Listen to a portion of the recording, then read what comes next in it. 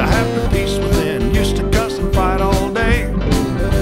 Satan had my soul, he wouldn't let go. My life was slipping away.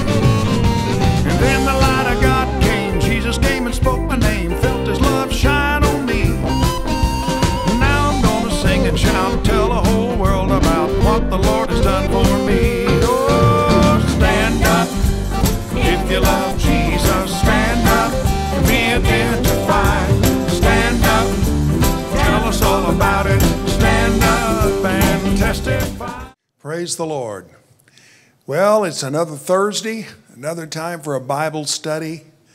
Let's, you and I, join in together tonight and let's delve into the Word of God and see what the Lord would say to us. Father, we thank you tonight for the privilege, the outright wonderful privilege of studying your Word. Illuminate our hearts and our minds, strengthen us as we delve into your powerful Word. In Jesus' mighty name.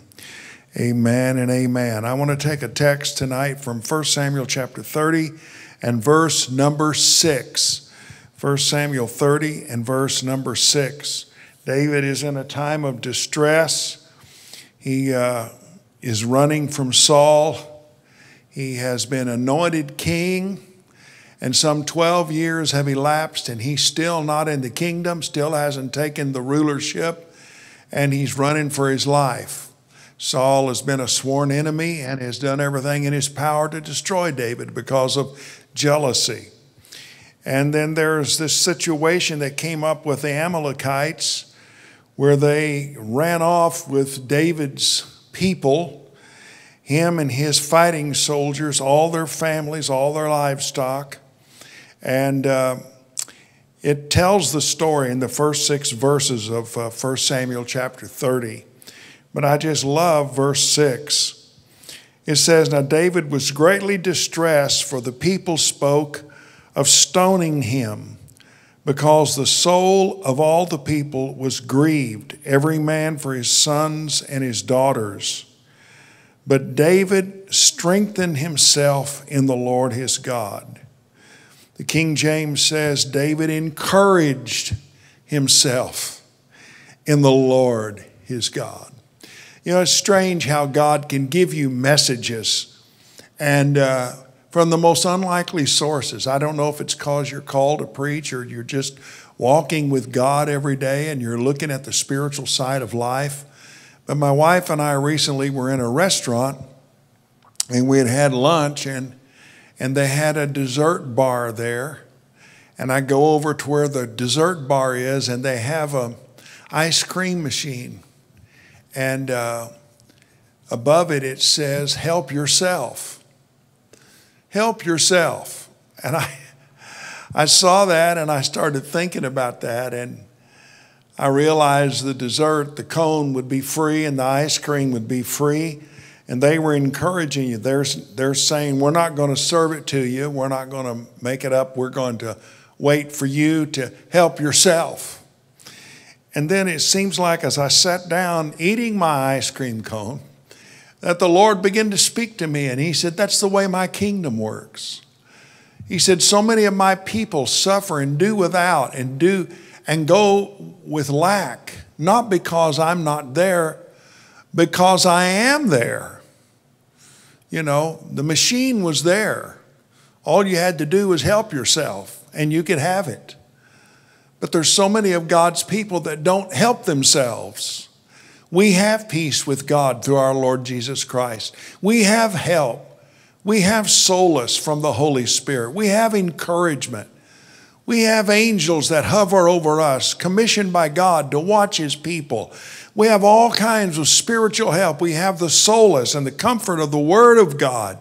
We have so many things, areas that minister to God's people that can make us victorious, can give us peace and make us overcomers. But are you availing yourself of that?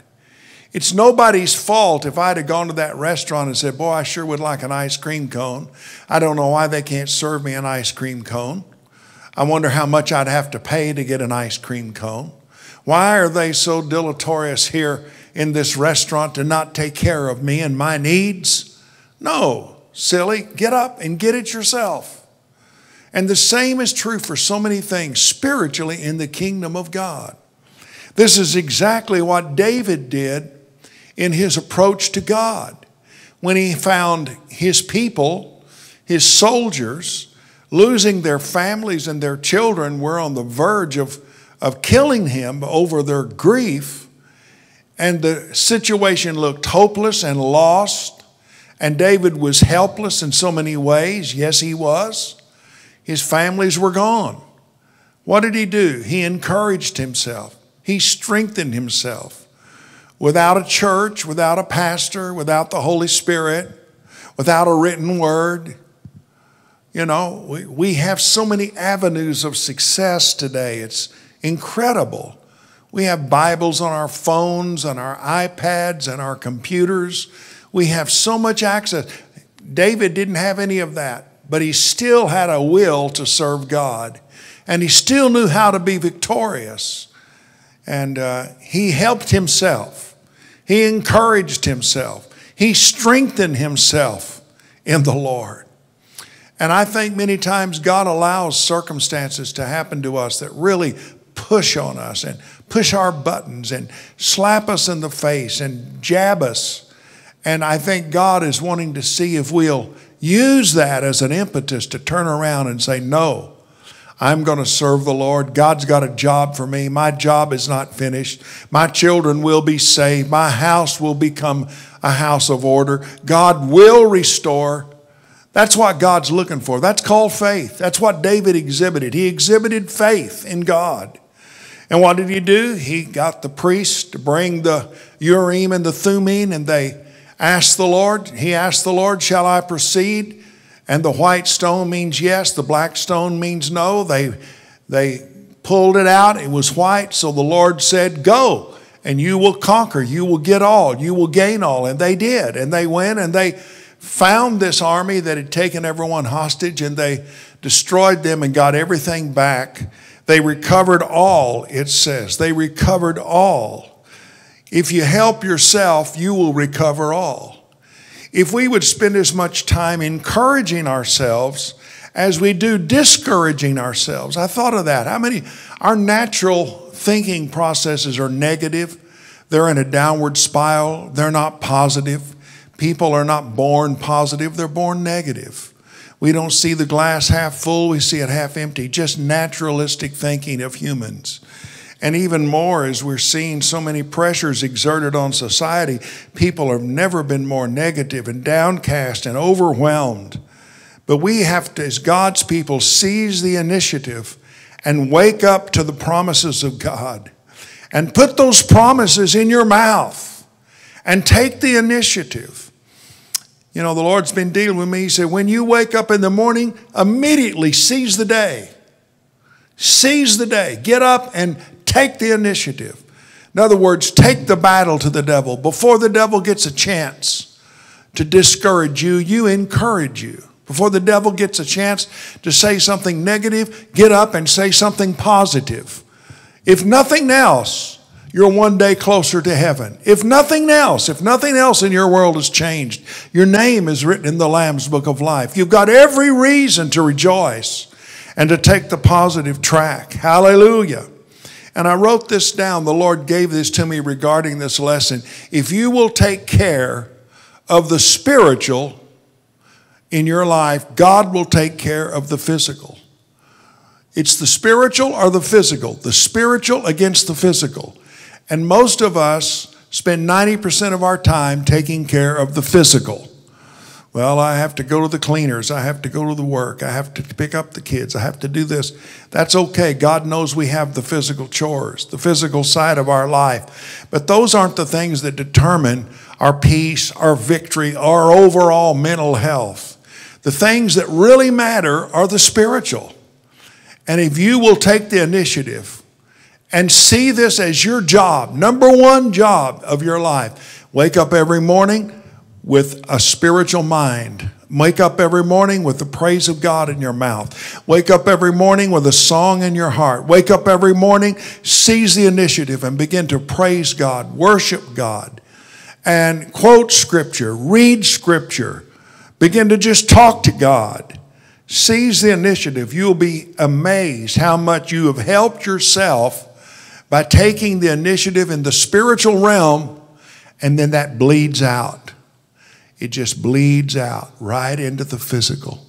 Everything goes better in your interpersonal relationships, your, your relationship with your spouse, your children, your grandchildren, all of that. It just flows with peace because it's coming from the spiritual. The spiritual is being taken care of. So the physical has no place to go except, but we try to do it in the opposite. We, we're, we're physical most of the time, and then once a week we try to go to church and be spiritual. No, we need it every day, every moment. Hallelujah. I pray, God, help us to help ourselves. We have the victory. We are overcomers. We can win. We will win if we'll hold his hand. But we still have our job to do. God won't do for you what you can only do. I pray, God, that you will just help us. There's some people that's watching this that need this. The devil's been oppressing their mind, oppressing their spirits, and they've been negative and they've been fearful and downcast. And God verging right on, on depression. I rebuke that spirit, that demon that's come against their mind. You will not win in the name of Jesus. We belong to the Lord. His mark of the blood is over our lives. Our names are written in the Lamb's book of life. We are the head and not the tail, above and not beneath. And we take authority. We take that which Jesus apprehended for us in the powerful name that's above every name. Give us that peace and that victory. In Jesus' name, amen. Remember, nobody can do it for you. The responsibility is on your shoulders. Do what you can do, and God will do what you can't do. Amen. God bless you today.